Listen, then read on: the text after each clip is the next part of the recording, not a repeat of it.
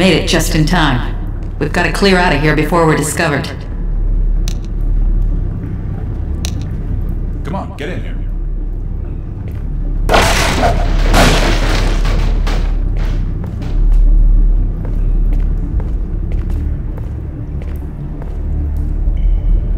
Here, take a look at this.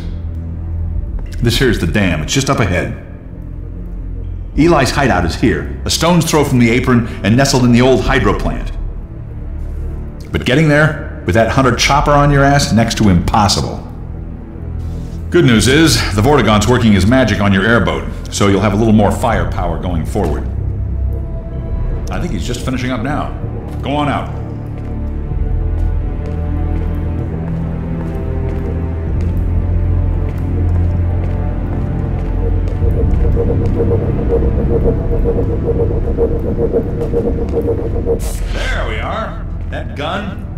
Same hunter choppers that you're up against. I always like to bring a little irony to a firefight. Take that chopper down, and you should be able to tear on through to Eli's place. The Freeman will accept this weapon or suffer greatly on the road ahead. We remember the Freeman. We are coterminous. There is no distance between us. No false veils of time or space may intervene. We see you still in Black Mesa. Clearly, we see you in the Nihilanth's chamber. We bear witness to the bright eternity of the Nihilanth's demise. You leap, you fall, we see you crash between the barriers. For a brief time you joined us, you are one between the worlds. Communion of the vortessence, and that other, a deeper mystery. No deeper than the void itself. We cannot forget those whose cords you cut. Forgiveness is not ours to bestow. Unity of purpose, the shattering of common shackles, a single road we tread. The song we sing and shall sing for eternity, no matter the consequences of this. You have brought us grief and jubilation beyond measure. We are there still in observance of your final stroke.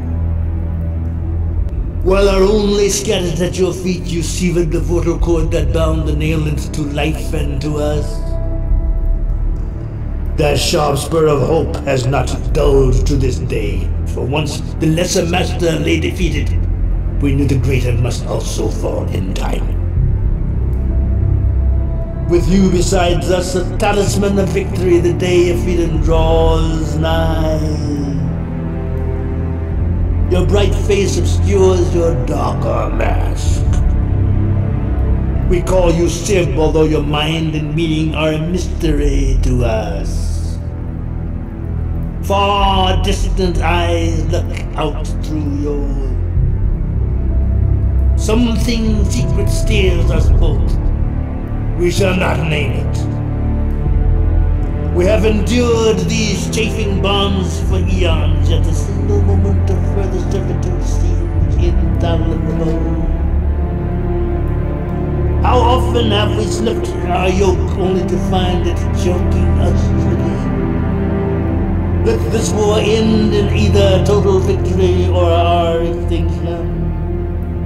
No further compromise shall we allow. We take our stand beside you here upon this miserable rock. The way ahead is dark for the moment. What seems to you a sacrifice is merely to us an oscillation. We do not fear the interval of darkness. We are a tapestry woven of vortices. It is the same for you if only you would see. How many are there in you? Whose hopes and dreams do you encompass?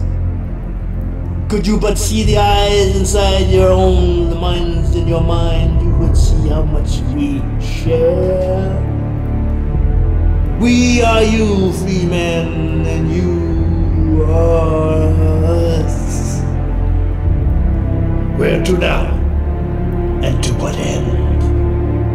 Our finest poet describes it thus. Galambakalimar. We have survived worse across the ages. Get going, Dr. Freeman. I can see Eli was right about you.